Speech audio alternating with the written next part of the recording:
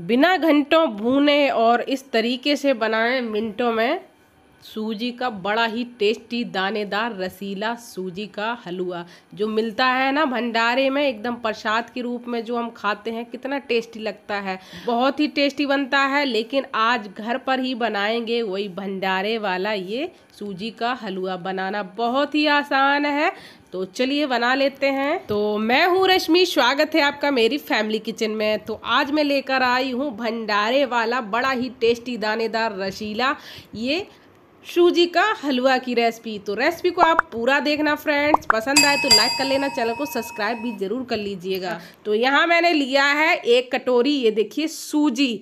तो देखिए, सूजी तीन प्रकार की होती है। सबसे महीन वाली होती है मीडियम साइज़, बड़ी बड़े दाने वाली। तो मैंने यहाँ मीडियम साइज़ के लिए है। आपके पास अगर बिल्कुल छोटे छोटे दाने वाली हो, वो भी ले सकते हैं। नहीं तो आप मिक्सी में भी चला सकते हैं। तो मैं ज़्यादा दानेदार बनाऊँगी। बस ये है कि थोड़ा फूलता मतलब है ना, इसमें थोड़ा सा पानी ज़्यादा लगता है। तो और इसी के बराबर मैंने लिया है घी और इसी के बराबर ले ली है मैंने चीनी। परफेक्ट मेज़रमेंट में बता रही हूँ, ये हलवा बनाने का। तो आप इसी मेज़रमेंट से बना सकते हैं। तो मैंने यहाँ ड्राई फ्रूट्स ले लिए हैं छोटे। देखिए, बादाम को थोड़ा कट कर लिया है, थोड़े मैंने ऐसे ही खड़े ले लिए हैं। काजू ले लिए हैं और किशमिश ले लिए हैं। आप वैसे तो हलवा में यही में भी ज़्यादा डालते हैं सब लोग और आपको जो पसंद है वो आप डाल सकते हैं। तो चलिए चलते हैं, गैस की तरफ़ मैंने रखी है कढ़ाई और जो घी ले लिया है ना, उसको डालेंगे। तो आधा घी डाल दिया है और जो बचा हुआ घी बाद में यूज़ करेंगे, वो बाद में बताएँगे कैसे करना है।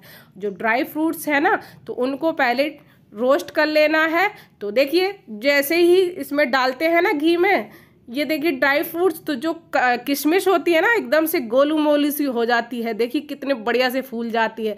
बस आधा मिनट लगता है, ये जो आपके मेवे हैं, रोस्ट हो जाते हैं, बस इनको निकाल लेना है। किशमिश जैसे ही आपकी फूल जाए, वैसे ही निकाल लेना है। जो घी बच गया है ना उसी में आपको अब भूननी है ये सूजी।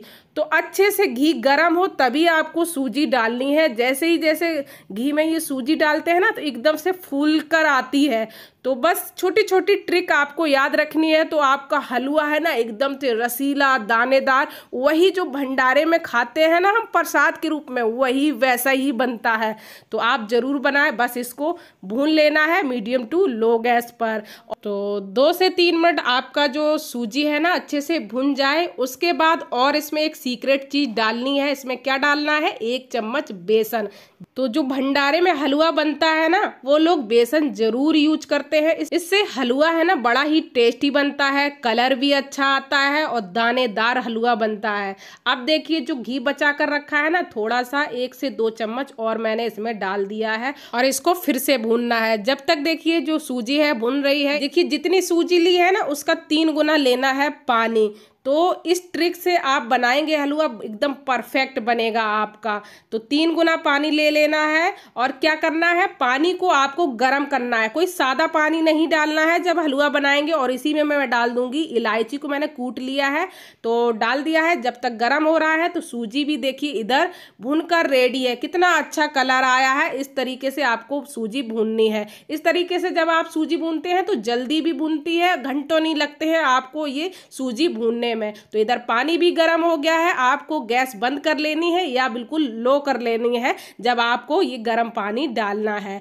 बस आपको मिक्स करते जाना है और ये काम करते टाइम आपको जो देखिए, बिल्कुल भी टाइम नहीं लगता है। जो आपकी सूजी है ना, एकदम से फूल कर आती है और बस देखिए, जैसा ही पानी डालते जाते हैं और आपको चमचा से घुमाते जाना है। बस आधा से एक मिनट लगता है और ये जो देखिए, सूजी है ना, बढ़िया से गाढ़ी होने लगती है। देखिए, बढ़िया से पक रही है। देखिए, कितना दानेदार अभी हुआ है। और देखिए, बढ़िया से मिक्स करेंगे और देखिए, इसको पका लेंगे। एक से डेढ़ मिनट पकाया है, उसके बाद ही आपको डालनी है चीनी। तो आप क्या करते हैं? पहले चीनी डाल देते हैं, उसके बाद पानी डालते हैं। नहीं, पहले आप पानी डालिए, फिर थोड़ा सा पका लीजिए, फिर उसके बाद डालिए आप चीनी। इस तरीके से बनाएँगे। और जैसे ही चीनी डालते हैं ना, ये देखिए और थोड़ा थिन होता है, पतला होता है हलवा। देखिए कितना बढ़िया से पक रहा है। फिर से डालेंगे इसमें घी। तो इसी प्रोसेस से घी डालेंगे। तो घी है ना, ऊपर से दिखता भी है और बढ़िया से हलवा आपका बनता है। एकदम दानेदार, रसीला, देख ही सकते हैं। अभी भी चिमचा में बिल्कुल से नहीं चिपक रहा है ये हलवा। फिर से डाल दिया है। तो इसी प्रोसेस से आपको बनाना है ये हलवा। तो एकदम आपका जो हलवा है, एकदम भंडारे जैसा बनेगा, जो प्रसाद में मिलता है तो यहाँ बन चुका है। तो मैंने थोड़े से ड्राई फ्रूट्स अभी डाल दिए हैं। थोड़े से मैं बाद में डालूँगी जब मैं सर्व करूँगी। तो देखिए कितना बढ़िया बना है, एकदम से चमचा में नहीं लग रहा है।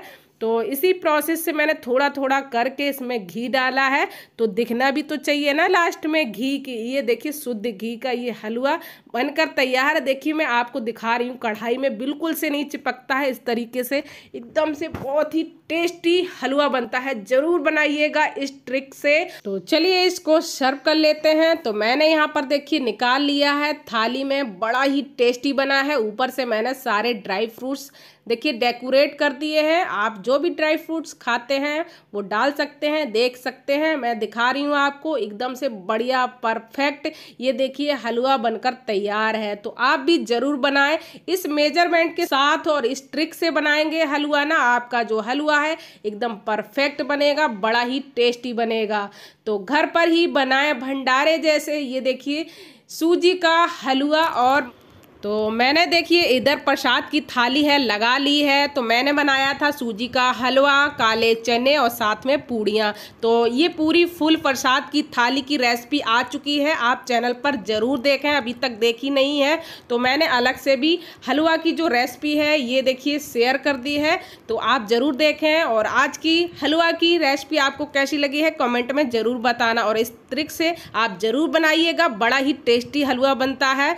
तो वीडियो को ज़रूर लाइक कर लीजिएगा फ्रेंड्स। और चैनल पर नए हैं, अभी तक सब्सक्राइब नहीं किया तो ज़रूर कर लीजिएगा। फिर मिलते हैं नई रेसिपी के साथ। Bye bye take care.